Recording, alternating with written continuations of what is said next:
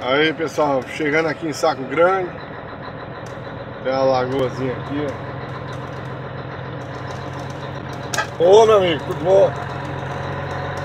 O, cumprimentando aqui o homem sertanejo, né? Aí o nordestino ele são as pessoas guerreiras, né? São homens sofredores e acostumado também com a seca, né? Então tá aí, você tá vendo ele buscando água aqui no barreiro. E aqui é a, o povoadozinho aqui de Saco Grande aqui, ó.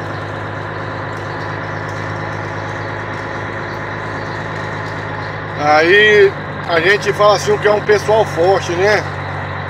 Vai em frente sem ter com, contar com ninguém, não pode contar com ninguém, né? O nordestino por si só ele sofre, né? Nasceu para sofrer e são guerreiros aí, né?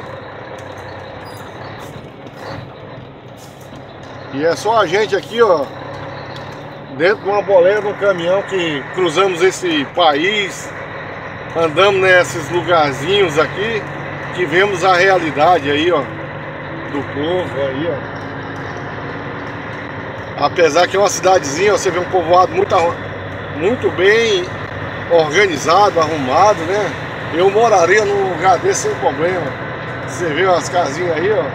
Você vê, ó. Cadê muro? Cadê grade, ó? Não tem. Quer dizer. Aí, ó. A, a casinha de porta aberta, quer dizer. Aqui não tem malandragem, bandidagem. E o cara, você vê, o cara tem seu carro, um carro bom, a casa do cara boa ele tem muito mais padrão de qualidade de vida do que muita, mas muita gente, nós mesmos que moramos em cidade grande, né? Nas metrópoles. Então tá aí.